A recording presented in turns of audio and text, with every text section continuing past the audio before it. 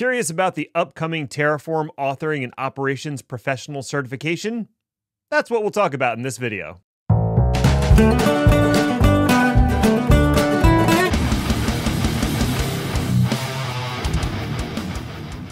What's up, everybody? Welcome to another episode of Terraform Tuesdays.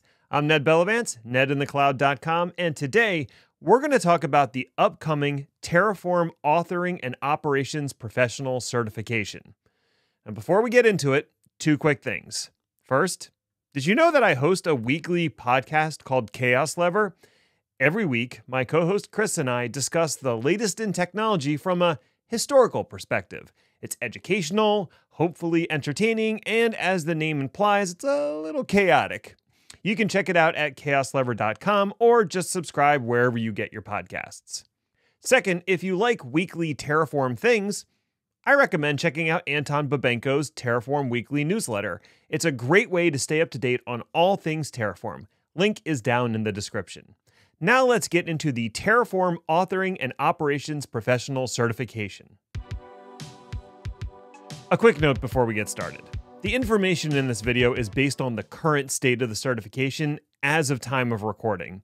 HashiCorp has not yet released the certification for general consumption, so some details may change before the certification is officially launched.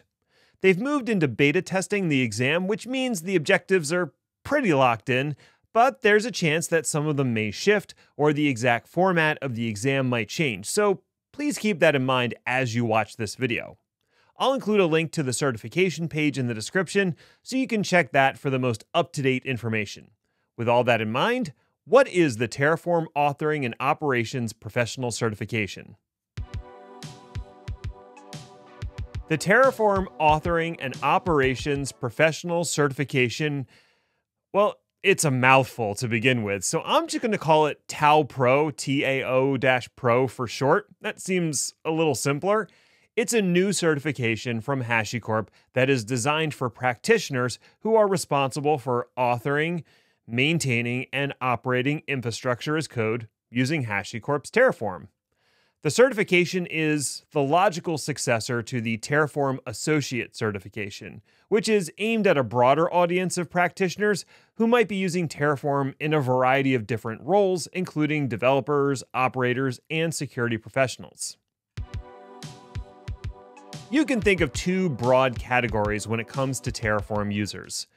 Consumers are those who use Terraform to deploy and manage infrastructure, but who don't necessarily need to understand the deep details of how Terraform works or be able to author complex Terraform configurations and modules.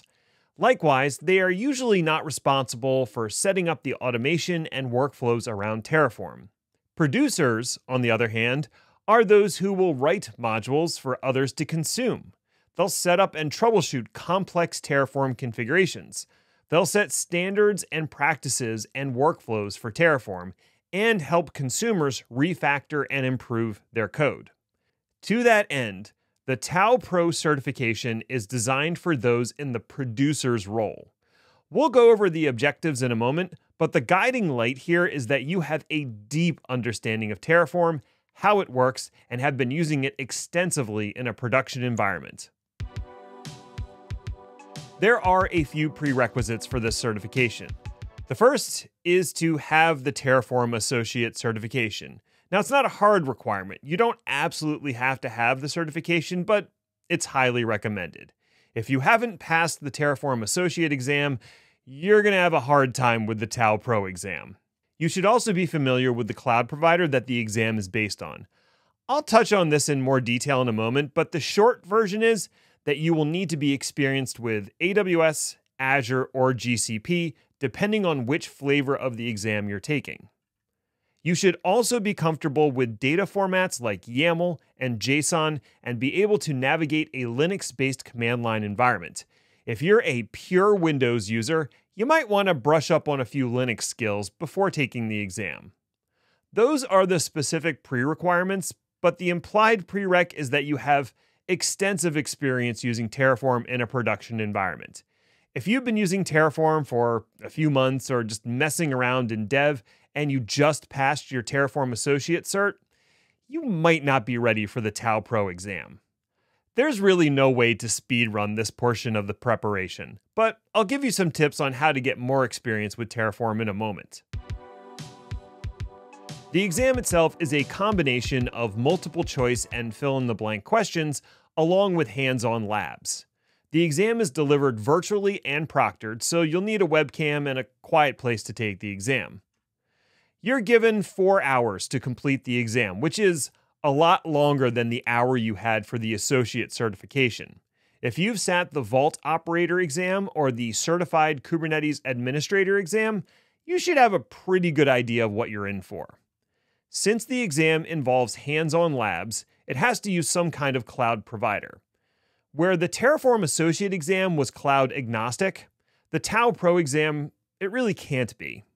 When the exam launches, it's going to be based on AWS, but HashiCorp plans to release Azure and GCP flavors of the exam as well. So, along with having a deep knowledge of Terraform, you'll need to be familiar with the cloud provider that the exam is based on. I'm not talking about being a total expert in AWS, but you should be able to navigate the console, understand the basics of IAM, and know how to set up some of the basic infrastructure components, like a VPC, let's say. If you've been using Terraform in production AWS environments, you should be fine. Each lab presents you with a scenario, a set of goals to accomplish, and requirements to meet. You will have access to the Terraform documentation and the cloud provider documentation during the exam, so you don't have to memorize everything. You'll also have access to the cloud provider portal and the cloud provider CLI to spot check things and get additional information. So, what types of things will you be doing in the labs? Well, let's take a look at the exam objectives to find out. There are six high level objectives for the TAO Pro certification. As of right now, the exam is going to be based on Terraform 1.6. So bear that in mind when thinking about what might be tested. Features released in later versions of Terraform are not going to be included. The objectives are manage resource lifecycle, develop and troubleshoot dynamic configuration, develop collaborative Terraform workflows, create, maintain, and use Terraform modules, configure and use Terraform providers, and collaborate on infrastructure as code using Terraform Cloud. Each objective is broken up into multiple sub objectives, and I'm not going to try to go through all of them in this video, but I will try to focus on a few highlights.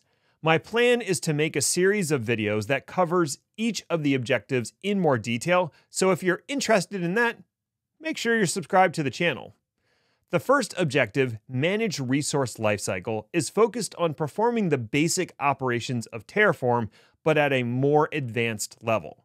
Beyond simply knowing how to run init, plan, and apply, you should also know about the options for each command and how they can be used to manage existing resources. The one sub objective I would pay the most attention to is the last one and its manage resource state, including importing resources and reconciling resource drift. That is a lot more than a single sub objective in my estimation. You will need to know how to import existing resources using the declarative method, how to deal with changes that happen outside of Terraform, and how to replace or move individual resources in your configuration. The next objective, develop and troubleshoot dynamic configuration, is all about expanding on the basic Terraform configuration language. You should be able to use data sources, input variables with complex data types, and transform data using functions and expressions. There's also a sub objective about dealing with sensitive data and using HashiCorp Vault, which I don't love. I'd rather they leave Vault out of the exam, but I guess they needed to cite an example of dealing with sensitive data and wanted to keep that portion cloud agnostic. The next objective, develop collaborative Terraform workflows, is all about working with others in a team. You should be able to use remote state, workspaces, and version control to collaborate with your team. It also includes dealing with version constraints for Terraform, the providers, and modules create, maintain, and use Terraform modules does include using modules from the public registry or internally developed modules. But remember, this is a certification for producers, so you also need to be able to write your own modules and refactor existing configurations into modules. Configure and use Terraform providers is all about dealing with provider plugins. This includes things like cloud authentication, provider configuration, and meta arguments like alias and provider. If you haven't tried to pass an aliased provider to a module, you might want to bone up on how to do that. The final objective, collaborate on infrastructure as code using Terraform Cloud, deals with Terraform Cloud. And here we move away from the Terraform Community Edition and into the Terraform Cloud specifics. You don't have to be an expert in Terraform Cloud, but you should know the basics of workspaces, runs, governance, and policy enforcement. I don't think there'll be a lab exercise involving Terraform Cloud, but you should be able to answer questions about how to use it. Okay, that's all the high level objectives. Like I said, I'll be making more videos that dive into each of these objectives in far more detail, so make sure you're subscribed to the channel and keep an eye out for them. And if you happen to be a Pluralsight subscriber, I'll be making a course that covers all of this material as well. Speaking of ways to study for the exam, let's talk about some resources you can use to prepare. HashiCorp has already started putting together some study materials on their website for the TAO Pro exam. They have a study guide that covers the objectives and provides links to the relevant documentation, which I'll include in the description. Now, as I mentioned, I'll be creating videos that cover objectives in more detail, and I'll be creating a course for Pluralsight that covers the material in depth. And I'm currently working on a study guide that I'll be selling through LeanPub.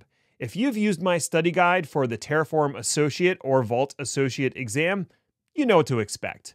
I've only written the intro chapter so far, so that's very much a work in progress. I am pumped to see the TAO Pro certification move towards general availability.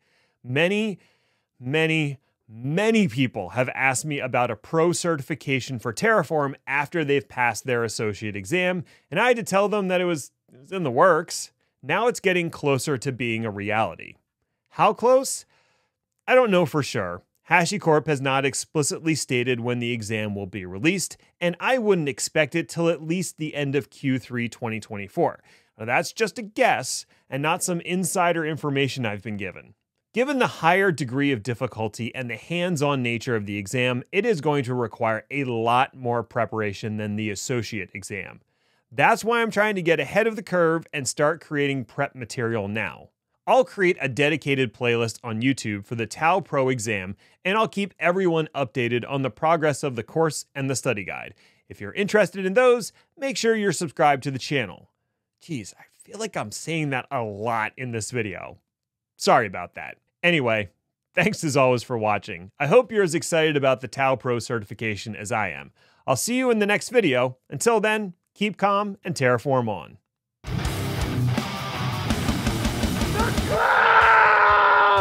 Lights. Hmm. I need my special lights. How else are you gonna stare into the depths of my blue eyes without these ridiculous lights shining into mine?